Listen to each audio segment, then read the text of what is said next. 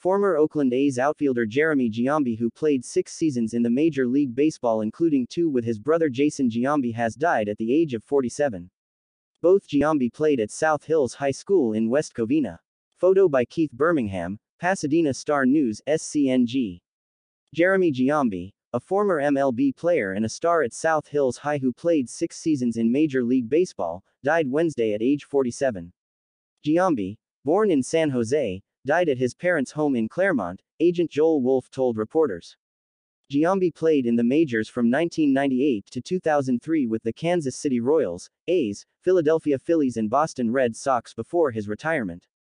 Giambi was also a standout at Cal State Fullerton, winning a College World Series title with the team in 1995. Claremont Police Lieutenant Robert Ewing said officers responded to a medical emergency call at 11:40 a.m. and found Giambi dead inside the home. The cause of death was unknown, but Ewing said there were no signs of foul play.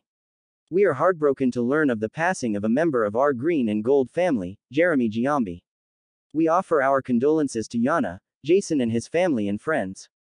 Giambi's brother, Jason Giambi, played eight seasons with the A's, including the 2000 and 2001 seasons in Oakland with Jeremy. The A's traded Jeremy to the Phillies in May of 2002. This is devastating news. Jeremy was a big supporter of our program and now we will be here to support the family at this difficult time, said Darren Murphy, South Hills athletic director and baseball coach.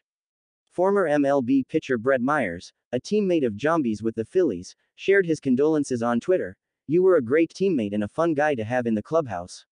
My prayers go out to the family and friends.